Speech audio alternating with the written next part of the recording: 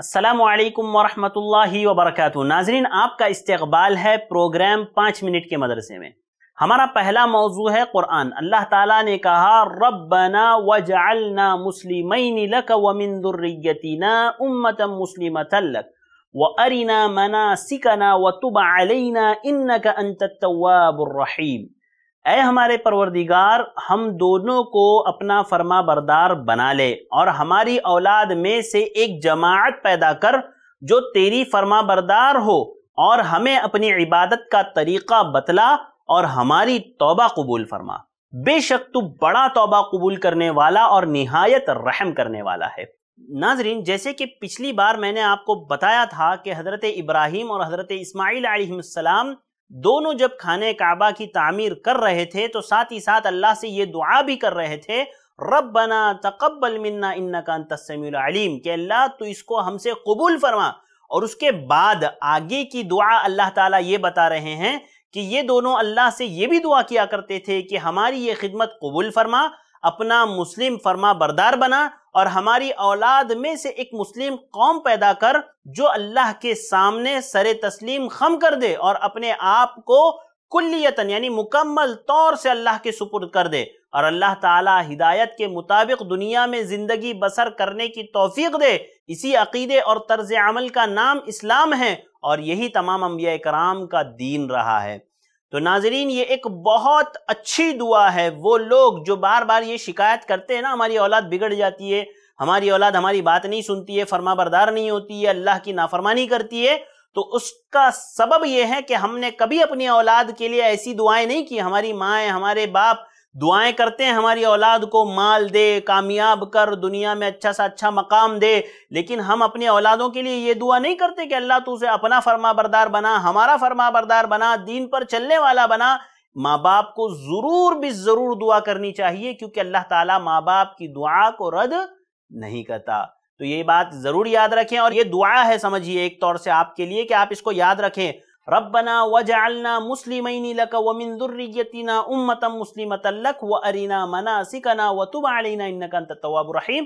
اس کو یاد رکھیں اور اللہ سے مانگتے رہیں۔ ناظرین، چلتے ہیں ہمارے اگلے موضوع کی طرف۔ ہمارا اگلا موضوع ہے سنت۔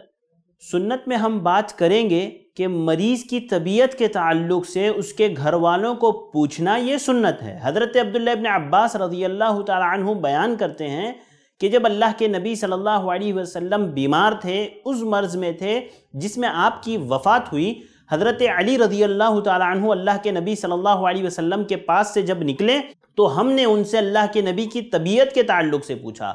تو حضرت علی رضی اللہ تعالی عنہ نے کہا کہ آپ کے مزاج خیر ہیں یعنی ابھی افاقہ ہوا ہے، ابھی طبیعت تھوڑی ٹھیک ہوئی ہے، ابھی تھوڑی طبیعت سنبھلی ہے۔ تو یہ عمل امام نووی رحمہ اللہ، صحیح مسلم کی یہ حدیث ہے، اس کی شرح میں امام نووی رحمہ اللہ لکھتے ہیں کہ یہ عمل ایک سنت ہے کہ جب آدمی کوئی مریض کے یہاں جاتا ہے یا اس کے رشتہ دار سے ملتا ہے تو ان کی طبیعت معلوم کرنا کہ وہ کیسے ہیں، ان کی طبیعت کیسی ہے، وہ خیریت سے ہے یا نہیں ہے۔ یہ ساری چیزیں پوچھنا کسی بھی مریض کے تعلق سے اس کے رشتہ داروں کو، یہ سنت ہے، اس میں خیر خواہی ہے، آپسی محبت کا ذریعہ ہے، آپس میں ایک دوسرے سے الفت کا ذریعہ ہے۔ لہذا ناظرین، ایک اہم سنت میں نے آپ کے سامنے رکھی ہے کہ اگر آپ کبھی کسی مریض کے پاس عیادت کے لیے نہ جا پاؤ تو کم سے کم اتنا کریں کہ اس کے گھر والوں کو فون کر کے پوچھ لیں، ایک کال کر کے پوچھ لیں کہ ان کی طبیعت کیسی ہے، وہ خیر و عافیت سے ہے یا نہیں۔ انشاءاللہ ہمیں اس سنت پر عمل کرنے کا اجر ضرور بھی ضرور ملے گا۔ ناظرین، چلتے ہیں ہمارے آج کے تیسرے موضوع کی طرف۔ لیکن اس سے پہلے آپ ہمارے ویڈیو کو لائک کریں، کمنٹ کریں، شیئر کریں اور ہمارے چینل کو سبسکرائب کرنا ہرگز نہ بھولیں۔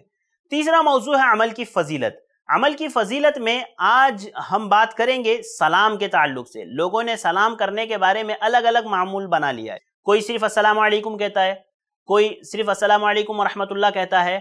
ہمیں جب اسلام نے کوئی سلام سکھایا ہے نا، تو اس کا اجر بھی بتایا ہے۔ اللہ کے نبی صلی اللہ علیہ وسلم ایک مجلس میں بیٹھے ہوئے تھے۔ ایک صحابی آئے، کہا، السلام علیکم۔ اللہ کے نبی نے فرد علیہ السلام۔ اللہ کے نبی نے اس کا سلام کا جواب دیا۔ پھر وہ بیٹھ گئے۔ اللہ کے نبی صلی اللہ علیہ وسلم نے کہا، عشر، دس۔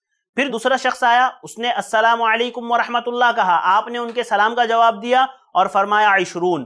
پھر تیسرے شخص آئے اور کہا، السلام علیکم ورحمت اللہ وبرکاتہ۔ آپ نے ان کا بھی جواب دیا اور کہا، سلاسون۔ پتا ہے آپ کو کہ ہمیں اس حدیث سے کیا معلوم ہوا؟ اگر آپ صرف السلام علیکم کہتے ہو تو صرف دس نے کیا ملے گی۔ السلام علیکم ورحمۃ اللہ کہہ دیتے ہو تو بیس نے کیا۔ اور اگر السلام علیکم ورحمۃ اللہ وبرکاتہ اتنا کہہ دیتے ہو تو تیس نے کیا۔ تو مجھے بتائیے آپ کو کیا چاہیے؟ دس نے کیا یا بیس نے کیا یا تیس نے کیا؟ مجھے اور آپ کو تیس نیکیاں لینی چاہیے۔ جب اللہ دے رہا ہے تو ہم کیوں نہ لیں؟ اسی لیے نا اللہ کے نبی نے کہا کہ پورا سلام کیا کرو، معمول بنا لیجیے اپنا۔ جب بھی کسی کو سلام کریں گے پوری کی پوری تیس نیکیاں لیں گے اور اس سے کہیں گے السلام علیکم ورحمت اللہ وبرکاتہ۔ اسی طرح جواب دینے کے وقت بھی وعلیکم السلام ورحمت اللہ وبرکاتہ۔ اور اچھے سے صاف الفاظ میں واضح طور پر کہیں گے۔ منہ میں آدھا لوگ کھا جاتے ہیں، آدھا بولتے ہیں۔